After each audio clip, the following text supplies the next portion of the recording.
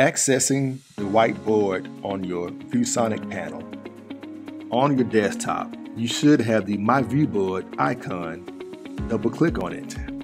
Once you click on it, a gray box will pop up for you to fill in the name of your board, which is your last name, and you'll type in your email address and confirm your email address and click submit.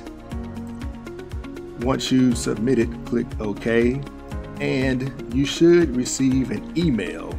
Once you go and check your email, open up the email from My Viewboard and click on Activate, and your software will be activated. Now you can go back to your desktop again and double click on My Viewboard, and the My Viewboard will open up for you. So once you've done all that, you'll be able to use your viewboard as a whiteboard now. Now, there is a new software version out, so you can email me and I'll make sure to stop by and I'll download the latest software version for you. But you will still be able to use it in the meantime. All right, thanks a lot.